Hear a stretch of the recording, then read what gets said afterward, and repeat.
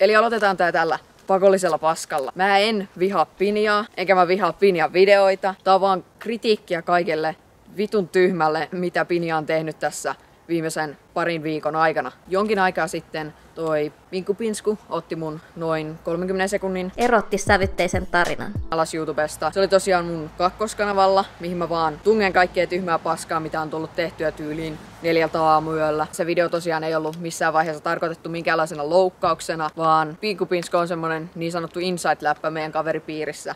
mä tein sen video joskus neljältä aamuyöllä 15 minuutissa ja laitoin se sitten YouTubeen. No myöhemmin sitten Pinja tuli uhkailemaan isommalla jutulla Snapchatissa. Sitten pari päivää myöhemmin vaan yksinkertaisesti otti sen videon alas. Ja se kyseinen videohan noudattaa Suomen vastinetta fair useista, joka tarkoittaa sitä, että mä saan upata sen. Ja se kuuluu näin. Jos joku teosta vapaasti muuttajan on saanut aikaan uuden ja itsenäisen teoksen, ei hänen tekijänoikeutensa riipu tekijänoikeudesta alkuperäisteokseen. Eli toisin sanottuna, jos sä käytät vaikka klippejä elokuvasta elokuva esittelyyn, niin se ei ole enää se elokuva, jolloin se on täysin sallittua, koska sä käytät niitä tehdäksesi jotain muuta. Ja mä veikkaan, että kaikki voi sanoa, että se video ei ole ollut enää Pinkkupinskun kynnen katkeamisvideo. Ja vaikka laissa ei lukiskaan näin, niin Pinkkupinsku itse latas videon, missä se katsoi kokonaan jonkun toisen YouTube-käyttäjän videon, joten se rikkoo tätä